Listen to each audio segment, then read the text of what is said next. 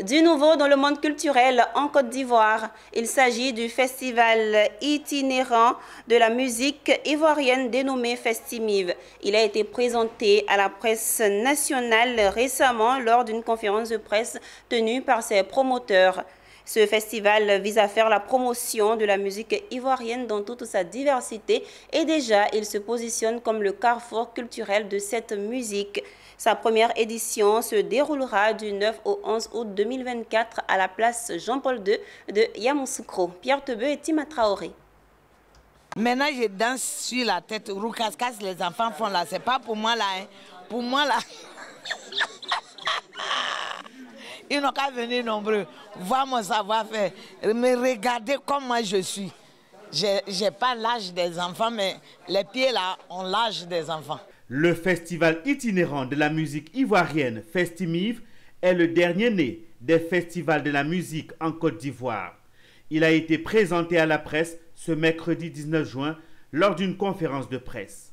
Sa particularité est qu'il est itinérant, dont ira dans toutes les localités de la Côte d'Ivoire il est une idée originale de CIMEF événement et vient permettre la découverte des genres musicaux.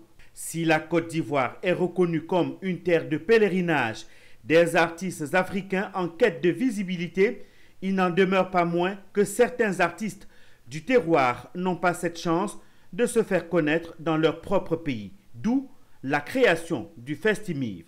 Yamoussoukro va vibrer du 9 au 11 août 2024 au rythme de la première édition de ce festival. L'ensemble des gens musicaux de la Côte d'Ivoire vont se retrouver sur un plateau haut en couleur et pendant trois jours, près de 80 artistes vont animer la ville de Yamsoko. Mais nous vous assurons que nous allons faire un show inédit dans la ville de Yamsoko pendant trois jours. Près de 30 000 festivaliers sont attendus et nous avons mis un dispositif sécuritaire et sanitaire pour les recevoir. Nous avons vu que tout est concentré sur Abidjan et la population de l'intérieur regarde tout à travers euh, les médias.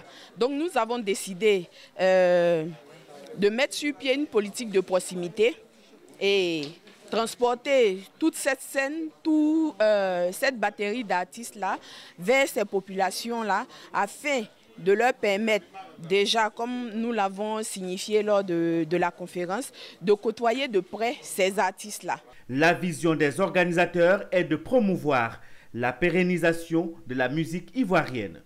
Trois jours de musique dans toute sa diversité, les artistes invités semblent en alerte. Je m'associe vraiment à l'effort qui va être fait. Voilà pourquoi euh, j'y serai. Je vais donner du mien et essayer de montrer à tous les gars qui sont là les pas originaux du Zouglou. Rendez-vous est pris pour la première édition du festival itinérant de la musique ivoirienne Festimive du 9 au 11 août 2024 à Yamoussoukro.